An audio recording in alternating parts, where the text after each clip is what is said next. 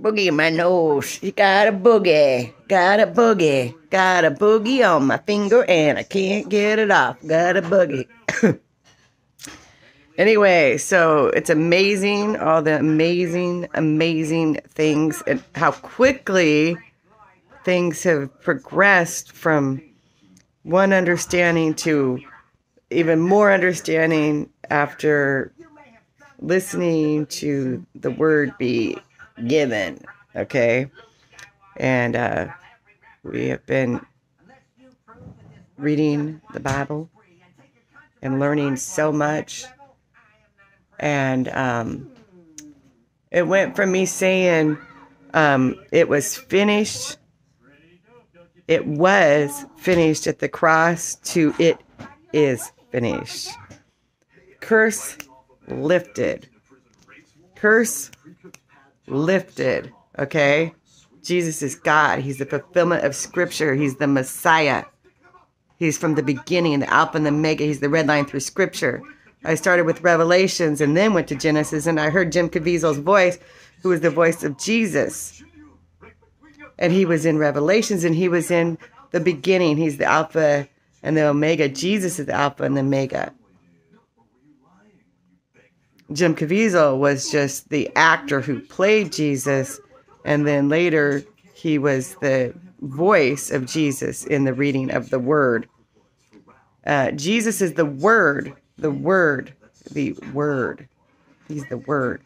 He's who spoke and spoke us into existence. No, actually, he spoke the world into existence, but with with human beings, Jesus got into the dirt and molded man out of clay and then breathed life into him. Anyway, I'm just learning so much. So I went from it is finished at the cross to it. Wait, I kept saying it was finished, and now I'm saying it is finished. The curse was lifted. Um, we're under Jesus Christ's leadership, so trust in Him. He is the Sabbath.